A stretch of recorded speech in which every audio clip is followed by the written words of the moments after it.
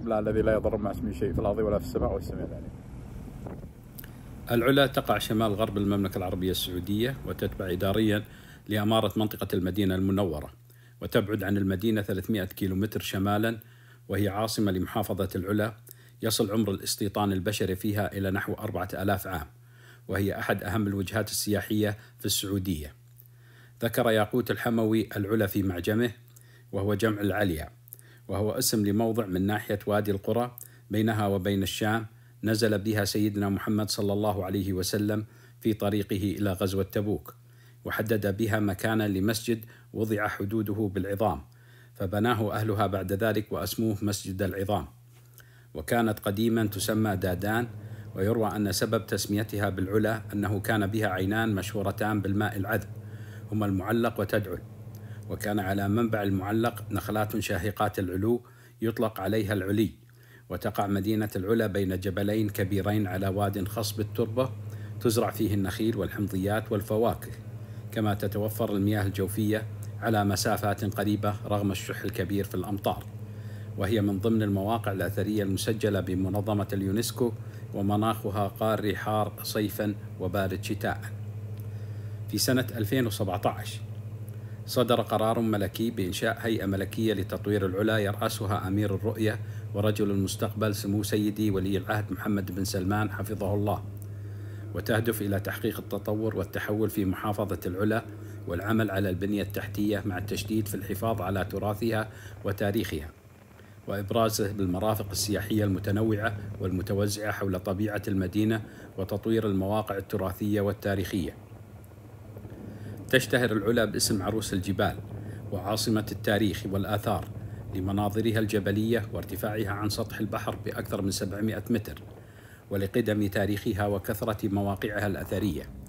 وقد اكتشف الباحثون فيها على بقايا معابد وتماثيل تعود إلى عصر اللحيانيين ما يقارب 900 سنة قبل الميلاد وتعاقبت عليها الحضارات لخصوبة الأرض ووفرة المياه.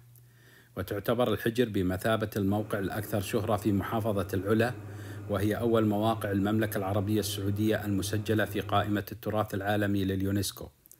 وكانت بمثابة المدينة الجنوبية الرئيسية لمملكة الأنباط وتتكون من أكثر من 100 مدفن محفوظة بشكل جيد مع واجهات متقنة تم اقتطاعها من الحجر الرملي.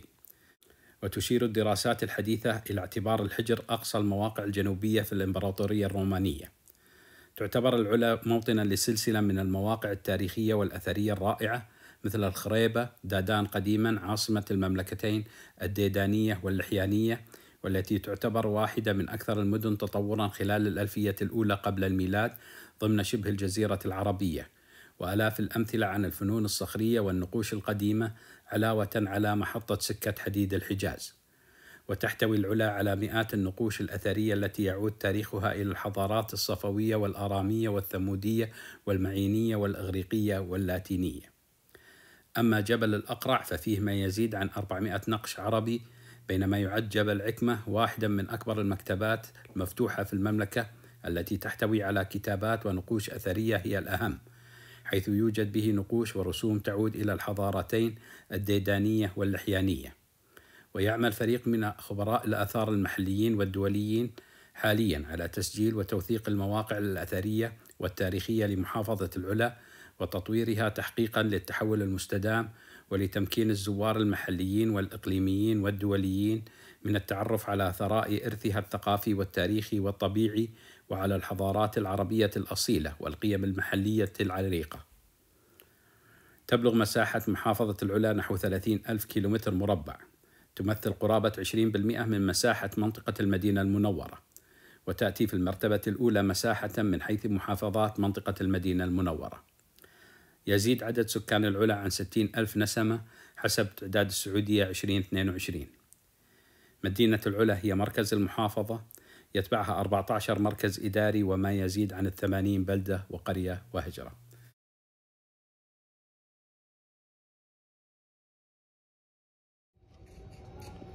ما شاء الله في سوق الديرة القديمة في العلا ما شاء الله.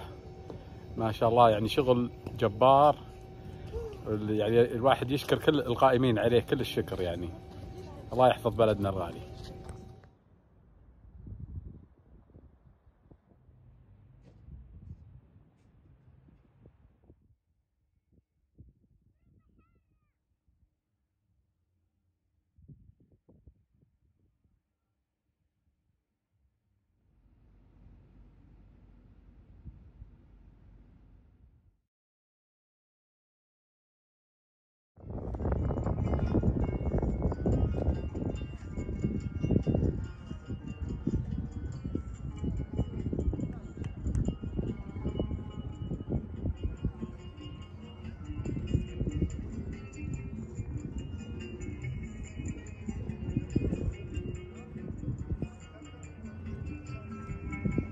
بسم الله ما شاء الله. منظر آه، بديع جدا من آه، مطل آه، العلا. يعني انصح اي واحد زاير للعلا إنه يشوفه.